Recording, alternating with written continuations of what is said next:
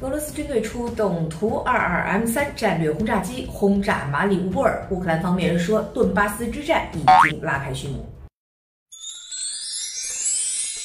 大家好，我是时事评论员吴学兰，欢迎您收看《无关大局》。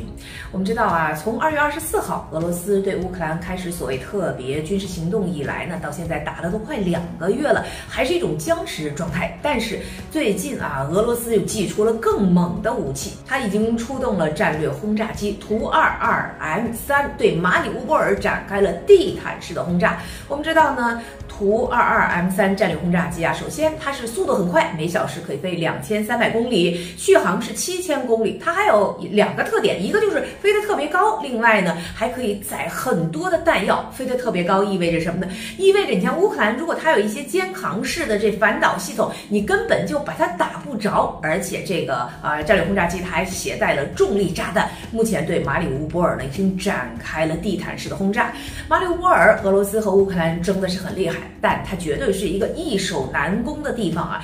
别的地方就不说了，就说亚速钢铁厂，占地就有十一平方公里，而且地底下啊，这是各种隧道纵横啊，可以扛的那是核大战啊！当年为了预防第三次世界大战开打建，那就可想而知，眼下里面还躲着两千五百名乌克兰军人以及四百名左右的各国雇佣军，俄罗斯急呀！所以现在是祭出了重器。乌克兰总统泽连斯基表态呢，说顿巴斯之战其实已经开始了。啊，俄罗斯对卢甘斯克、顿涅斯克以及哈尔科夫这东部的三个州呢，都有了军事行动的升级的迹象。再就是乌克兰西部的利沃夫，哎，也被俄罗斯军队给轰炸了。俄罗斯国防部自己说呢，它是轰炸了呃乌克兰境内大概十六处军事设施，目的是什么呢？北约，你不是给乌克兰送弹药、送武器吗？好，我还是要给他去军事化，把这些武器弹药是销毁了不少。目前乌克兰确实是急，他一天就要把这个美国为首的北约送给他的一个星期的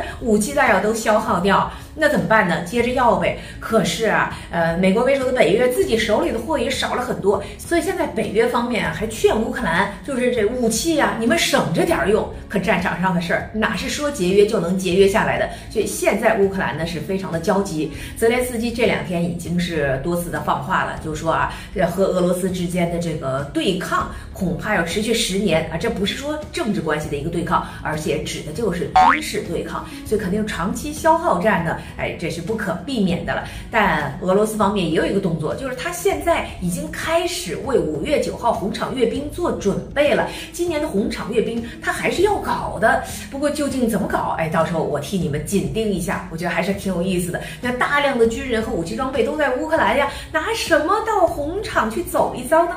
嗯，但是现在呢，俄罗斯对乌克兰的男人也采取了一些行动，哎，在鉴别哪些男人可以抓过来，哎，给俄罗斯军队来扩充力量，啊，哪一些呢？呃，这个必须要把他们进行隔离，甚至呢，这隔离这个词我用的还是很冷静的啊，甚至把他抓到俄罗斯去。还有一些人呢，就要做这个呃一些后勤的服务，总之都是为俄军进行服务。呃，眼下还在乌克兰的这些男人们现在都相当的紧张，不知道下一步如果被。俄军给抓了之后，会让他们干什么？再就是俄罗斯自己这个军人现在也不足了，所以在用差不多人民币每个月五千块左右的一个钱呢，从叙利亚招雇佣兵，希望为自己的呃军队来增添一些新鲜的血液。毕竟如果要打消耗战的话，那人、呃武器装备，包括钱都必须要跟得上才可以。感谢您收看本期视频，记得关注我，好内容别错过。